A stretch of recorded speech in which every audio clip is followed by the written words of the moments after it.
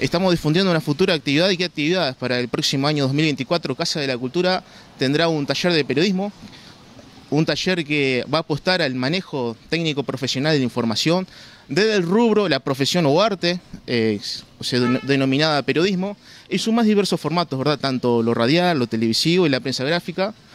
En esto último nos vamos a detener, vamos a tratar de trabajar más en profundidad con los estudiantes que estén en el taller, ya que la prensa gráfica exige una, una jerarquización y un manejo de fuente más profundo que tal vez otros formatos no lo tienen por su propio formato, ¿verdad? De los tiempos que exige.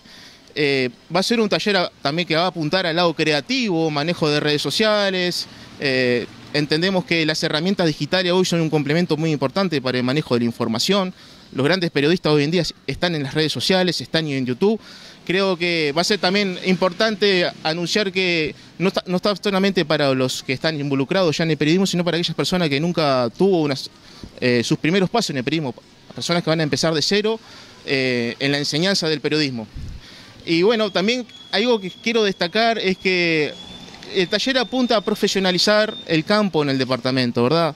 Entiendo que hay muchos colegas que, tal vez nunca tuvieron la oportunidad de ir a un curso de periodismo y bueno, van a tener la oportunidad de por primera vez en Tacuarembó, o por lo menos desde mucho tiempo, contar con un, taller práctico y teórico, se van a encontrar con una teoría y una conceptualización importante en el abordaje del periodismo, ya sea qué es saber lo que es un reportaje, qué es una crónica, qué es una columna.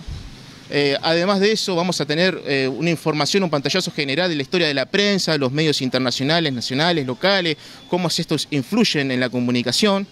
En fin, es muy amplio, por lo tanto, es un taller que apunta a, cursarse en tres años, el primer año introductorio, por supuesto muy práctico, porque como todo taller exige más práctica que teoría, y bueno, un segundo año ya profundizando más, este, trabajando mucho más el tema de, realizar este, informaciones, este, noticias.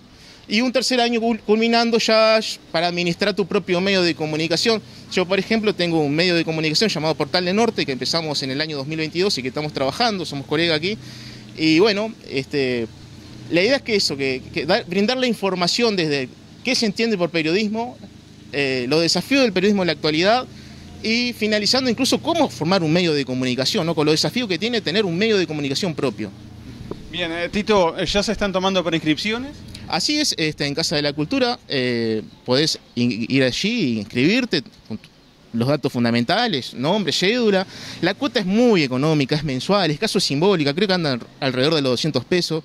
Eh, va a haber, se van a diseñar los horarios en relación a la cantidad de estudiantes que vayan. Eh, ¿Y qué más decirle? Empezarán supongo por abril o marzo y bueno, culminará en diciembre, como si fuera un curso más de, educativo, ¿verdad?